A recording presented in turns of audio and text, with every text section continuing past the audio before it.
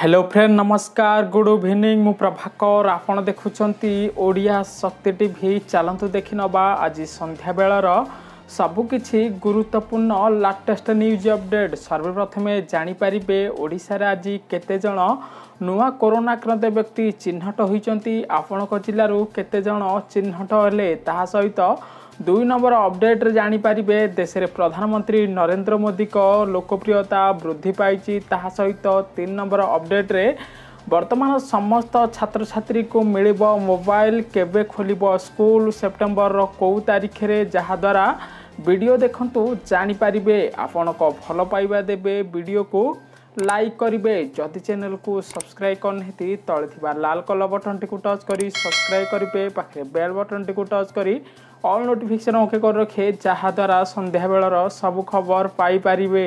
ପ୍ରଥମ ଖବର ମୋଦିଙ୍କ ଲୋକପ୍ରିୟତା ବଢ଼ିଛି। ସର୍ଭେରୁ ଆସିଲା ରିପୋର୍ଟ। ସୂଚନା ଅନୁସାରେ ଭାରତର ପ୍ରଧାନମନ୍ତ୍ରୀ ନରେନ୍ଦ୍ର ମୋଦିଙ୍କ ଲୋକପ୍ରିୟତା ପୂର୍ବ ବର୍ଷ ତୁଳନାରେ ଅଧିକ ହୋଇଛି। କାରଣ ଜାମ୍ମୁ କାଶ୍ମୀରରୁ ଧାରା ତିନିଶହ ସତୁରି ନାଗରିକ ବିଲ୍ ସଂଶୋଧନ ଆଇନ ବିରୋଧରେ ବାତାବରଣ ସୃଷ୍ଟି ହୋଇଥିଲା। ଫଳରେ ମୋଦିଙ୍କ ଲୋକପ୍ରିୟତା କମିଥିବାର ଚର୍ଚ୍ଚା ହେଉଥିଲା କିନ୍ତୁ ସର୍ଭେରୁ ରିପୋର୍ଟ ଆସିଛି ଯାହାଦ୍ୱାରା ଦେଶରେ ଅଠସ୍ତରୀ ପ୍ରତିଶତ ଲୋକ ମୋଦି ସରକାର ପୁଣି ଥରେ ଭାରତର ପ୍ରଧାନମନ୍ତ୍ରୀ ନରେନ୍ଦ୍ର ମୋଦି ହୁଅନ୍ତୁ ବୋଲି ସପୋର୍ଟ ମିଳିଛି।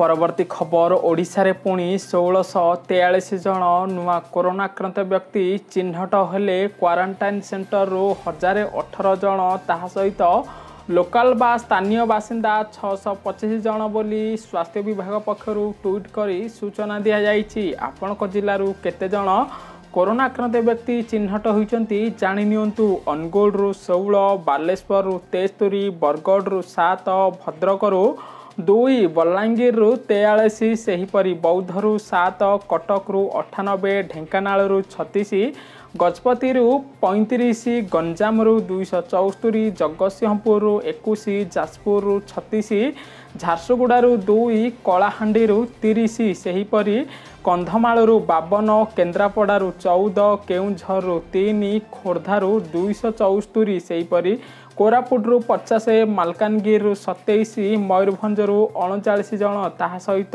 ନବରଙ୍ଗପୁରରୁ ପାଞ୍ଚ ନୟାଗଡ଼ରୁ ଚାଳିଶ ନୂଆପଡ଼ାରୁ ଏକ ପୁରୀରୁ ବୟାନବେ ରାୟଗଡ଼ାରୁ ଶହେ ଛତିଶ ସମ୍ବଲପୁରରୁ ଶହେ ବାର ସୁନ୍ଦରଗଡ଼ରୁ ଶହେ ଅଠର ଜଣ ନୂଆ କରୋନା ଆକ୍ରାନ୍ତ ବ୍ୟକ୍ତି ଚିହ୍ନଟ ହୋଇଛନ୍ତି।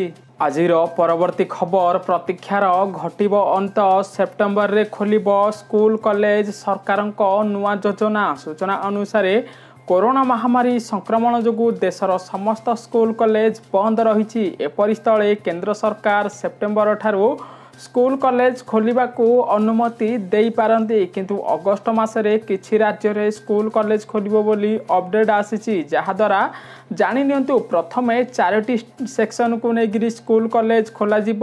ଗୋଟିଏ ଦିନରେ ଦୁଇଟି ସେକ୍ସନରେ ପାଠ ପଢ଼ା ହେବ। ଯାହାଦ୍ୱାରା ପୂର୍ବରୁ ପାଞ୍ଚରୁ ଛଅ ଘଣ୍ଟା ସ୍କୁଲରେ କ୍ଲାସ୍ ହୋଇଥିଲା। ବର୍ତ୍ତମାନ ଦୁଇରୁ ତିନି ଘଣ୍ଟା ସ୍କୁଲରେ କ୍ଲାସ୍ ହେବ। ଯାହାଦ୍ୱାରା ଅଗଷ୍ଟ ମାସରେ ଆସାମ ଲାଦାଖ ବିହାର କେରଳ ହରିୟାଣାରେ ସ୍କୁଲ କଲେଜ ଖୋଲିବା ପାଇଁ କେନ୍ଦ୍ର ସରକାର ଗାଇଡ଼ଲାଇନ୍ ଜାରି କରିପାରନ୍ତି। ତାହା ସହିତ ଅନ୍ୟ ରାଜ୍ୟଗୁଡ଼ିକରେ ସେପ୍ଟେମ୍ବରରେ ସ୍କୁଲ ଖୋଲିବ। ଯଦି ଆମେ ଓଡ଼ିଶା କଥା ଦେଖିବା ତାହେଲେ ଓଡ଼ିଶାର ପ୍ରଥମ ଦ୍ୱିତୀୟ ସପ୍ତାହରେ ସ୍କୁଲ ଖୋଲିବା ନେଇ ବର୍ତ୍ତମାନ ବହୁତ ବଡ଼ ଅପଡେଟ୍ ଆସିଛି।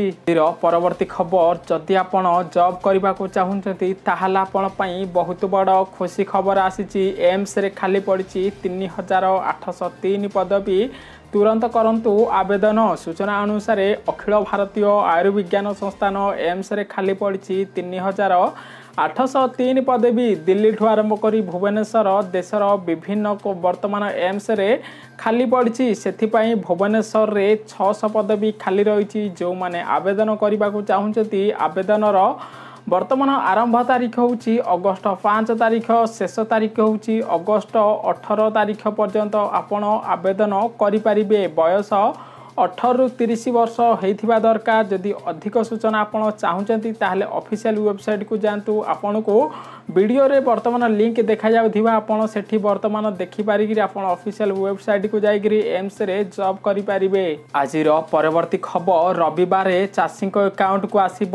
ପି ଏମ୍ କିଷାନ ଯୋଜନାର ଷଷ୍ଠ କିସ୍ତି ଟଙ୍କା। ସୂଚନା ଅନୁସାରେ ଚାଷୀଙ୍କ ପାଇଁ ଆଉ ଏକ ଖୁସି ଖବର। ଆସନ୍ତାକାଲି ପିଏମ୍ କିଷାନ ଯୋଜନାରେ ସାରା ଦେଶରେ କୃଷକଙ୍କ ଆକାଉଣ୍ଟକୁ ଷଷ୍ଠ ବା ପର୍ଯ୍ୟାୟ ପିଏମ୍ କିଷାନ ଯୋଜନାର ଟଙ୍କା ମିଳିବ। ଏହା ପ୍ରଧାନମନ୍ତ୍ରୀ ବର୍ତ୍ତମାନ ଅପଡେଟ୍ ଦେଇଛନ୍ତି। ଆସନ୍ତାକାଲି ସାଢ଼େ ଆଠ କୋଟି କୃଷକଙ୍କ ପାଖକୁ ଆସିବ ପିଏମ୍ କିଷାନ ଯୋଜନାରେ ଟଙ୍କା ଦୁଇ ହଜାର। ଆପଣ ଜାଣିପାରିଥିବେ ଆସନ୍ତାକାଲି ମାନେ ରବିବାର ଦିନ ଚାଷୀଙ୍କ ଆକାଉଣ୍ଟକୁ ସିଧାସଳଖ ଯିବ ସତର ହଜାର କୋଟି। ରବିବାର ଦିନ କୃଷି ଭିତ୍ତିଭୂମି ପାଇଁ ଏକ ଲକ୍ଷ କୋଟିର ପ୍ୟାକେଜ ଘୋଷଣା କରିବେ ପ୍ରଧାନମନ୍ତ୍ରୀ ନରେନ୍ଦ୍ର ମୋଦି। ଏନେଇ ପ୍ରଧାନମନ୍ତ୍ରୀ କାର୍ଯ୍ୟାଳୟ ପକ୍ଷରୁ ସୂଚନା ଦିଆଯାଇଛି। ଯଦି ଆପଣ ପି ଏମ୍ କିଷାନ ଯୋଜନାରେ ହିତାଧିକାରୀ ଅଛନ୍ତି ତାହେଲେ ଆପଣଙ୍କୁ ଦୁଇ ହଜାର ଟଙ୍କା ନିଶ୍ଚୟ କାଲି ଆପଣଙ୍କ ଆକାଉଣ୍ଟକୁ ଆସିଯିବ।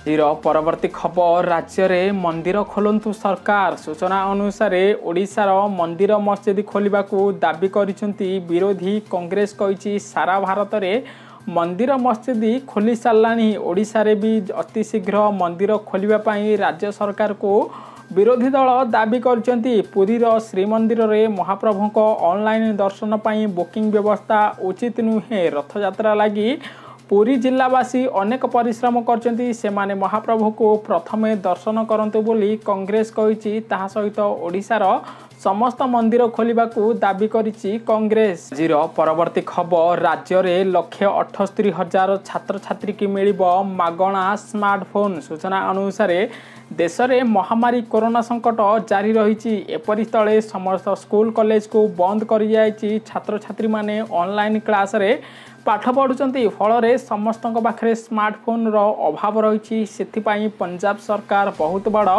ପଦକ୍ଷେପ ନେବା ସହିତ ଅଷ୍ଟମରୁ ଦ୍ୱାଦଶ ଶ୍ରେଣୀ ପିଲାମାନଙ୍କ ପାଖରେ ଯେଉଁମାନଙ୍କ ଛାତ୍ରଛାତ୍ରୀ ସ୍ମାର୍ଟଫୋନ୍ ନାହିଁ ସେମାନଙ୍କୁ ପ୍ରଥମେ ପ୍ରଦାନ କରାଯିବ ବୋଲି ମୁଖ୍ୟମନ୍ତ୍ରୀ ଅପଡେଟ୍ ଦେଇଛନ୍ତି। କାରଣ ପଞ୍ଜାବରେ ସ୍କୁଲ କଲେଜ ବନ୍ଦ ରହୁଛି। ଅନଲାଇନ୍ ପାଠ ପଢ଼ିବା ପାଇଁ ଛାତ୍ରଛାତ୍ରୀଙ୍କ ପାଖରେ ମୋବାଇଲ ନଥିବା ବେଳେ ପଞ୍ଜାବ ସରକାର ପ୍ରଥମ ପର୍ଯ୍ୟାୟରେ ପଚାଶ ହଜାର ସ୍ମାର୍ଟଫୋନ୍ ବଣ୍ଟନ କରୁଛନ୍ତି। ଏହାପରେ ଅବଶିଷ୍ଟ ସ୍ମାର୍ଟଫୋନ୍କୁ ଛାତ୍ରଛାତ୍ରୀକୁ ନଭେମ୍ବର ମାସ ସୁଦ୍ଧା ଯୋଗାଇ ଦିଆଯିବ। ଆପଣ କମେଣ୍ଟ କରନ୍ତୁ। ପଞ୍ଜାବ ସରକାର ଅନ୍ୟ ରାଜ୍ୟ ସରକାରମାନେ ଯେପରି ଛାତ୍ରଛାତ୍ରୀଙ୍କ ପାଇଁ ସ୍ମାର୍ଟଫୋନ୍ ଦେବାର ବ୍ୟବସ୍ଥା କରୁଛନ୍ତି ଓଡ଼ିଶା ସରକାର ମଧ୍ୟ ସ୍ମାର୍ଟଫୋନ୍ ଦେବା ଦରକାର କି ନାହିଁ? ଓଡ଼ିଶାର ଛାତ୍ରଛାତ୍ରୀ ପାଇଁ ଆଜିର ପରବର୍ତ୍ତୀ ଖବର ଫେରିବାଲା ପରିବା ବିକାଳୀଙ୍କ ହେବ କରୋନା ଟେଷ୍ଟ। ସୂଚନା ଅନୁସାରେ ଦେଶରେ ବେଳକୁ ବେଳ କରୋନା ସଂକ୍ରମଣ ବୃଦ୍ଧି ପାଇବାରେ ଲାଗିଛି। ସ୍ୱାସ୍ଥ୍ୟ ମନ୍ତ୍ରାଳୟ ପକ୍ଷରୁ ଅପଡେଟ୍ ଦିଆଯାଇଛି। ଏହି କ୍ରମରେ ମନ୍ତ୍ରାଳୟ ପକ୍ଷରୁ ସମସ୍ତ ରାଜ୍ୟ କେନ୍ଦ୍ରଶାସିତ ଅଞ୍ଚଳକୁ ଉପଦେଶ ଦିଆଯାଇଛି। ମନ୍ତ୍ରାଳୟ କହିଛି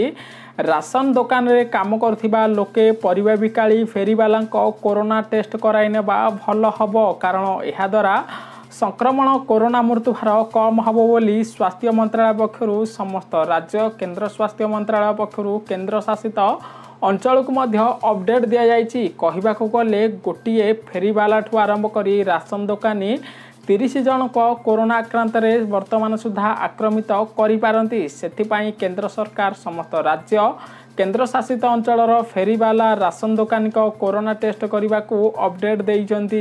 ପରବର୍ତ୍ତୀ ଖବର କରୋନାକୁ ହରାଇଲେ ଅଭିଷେକ ବଚ୍ଚନ। ସୂଚନା ଅନୁସାରେ କରୋନା ଭାଇରସ ସଂକ୍ରମଣ ଦିନକୁ ଦିନ ଦେଶରେ ମାଡ଼ି ଚାଲିଛି। ଏଠାରେ ହଜାର ହଜାର ଲୋକ ଚିହ୍ନଟ ହେଉଛନ୍ତି। ଧନୀ ହୁଅନ୍ତୁ କି ଗରିବ ଜନତା ହୁଅନ୍ତୁ କି ନେତା ସେଲିବ୍ରିଟି ସମସ୍ତେ କରୋନା କବଳରେ ଅଛନ୍ତି। ଏହି ମଧ୍ୟରେ ବଲିଉଡ଼ର ମହାନାୟକ ଅମିତାଭ ବଚ୍ଚନ ସମେତ ତାଙ୍କ ପରିବାରର ଚାରି ଜଣ ସଦସ୍ୟ କରୋନା ପଜିଟିଭ୍ ହେଇଥିଲେ କିନ୍ତୁ ସମସ୍ତେ ସୁସ୍ଥ ହୋଇକରି ଘରକୁ ଫେରିଥିବା ବେଳେ ଅଣତିରିଶ ଦିନ ପରେ ଅଭିଷେକ ବଚ୍ଚନ କରୋନାରୁ ସୁସ୍ଥ ହୋଇଛନ୍ତି ବହୁତ କମ୍ ଦିନ ଭିତରେ ଘରକୁ ଡିସଚାର୍ଜ ହେବ ବୋଲି ଅପଡେଟ୍ ଆସିଛି। ଯଦି ଆପଣଙ୍କୁ ନ୍ୟୁଜ୍ଟି ଭଲ ଲାଗିଛି ଆପଣଙ୍କ ମତାମତ ନିଶ୍ଚୟ ଦେବେ। ଭିଡ଼ିଓକୁ ଲାଇକ୍ କରିବେ। ସମସ୍ତ ପାଖକୁ ସେୟାର କରନ୍ତୁ। ସମସ୍ତ ପି ଏମ୍ କିଷାନ ଯୋଜନାରେ କିଷାନ ଭାଇକି ଦୁଇ ହଜାର ଟଙ୍କା ମିଳିବ। ସେଥିପାଇଁ ଭିଡ଼ିଓକୁ ସମସ୍ତ କିଷାନ ଭାଇକୁ ସେୟାର କରନ୍ତୁ।